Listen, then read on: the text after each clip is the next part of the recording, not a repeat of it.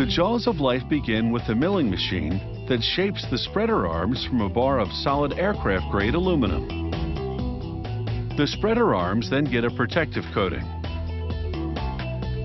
A lathe now makes the cap that fits on the end of the tool. A high-speed carbide tip shapes the solid aluminum into a finished end cap that is then drilled and treated to a coat of rust-resistant protection.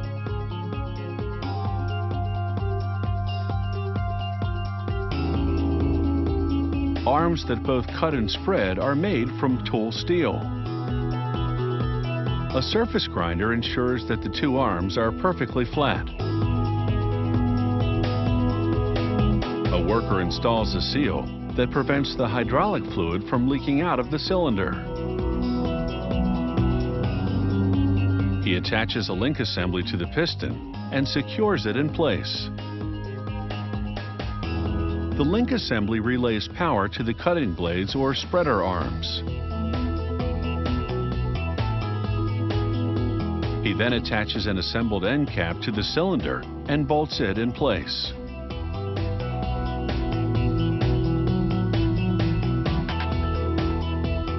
He connects the two hoses that lead to the tool's hydraulic cylinder.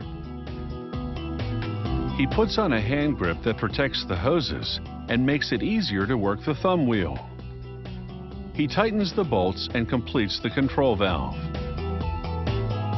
He then attaches the front handle that allows the operator to hold the tool safely.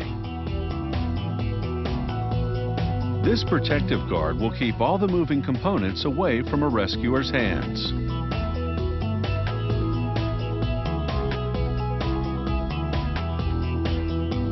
Then he aligns the holes in the blades to the tool and inserts a steel pivot pin.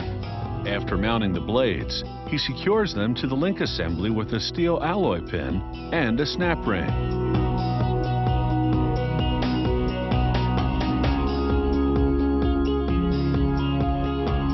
Then he folds the protective guard back and finishes assembling the tool.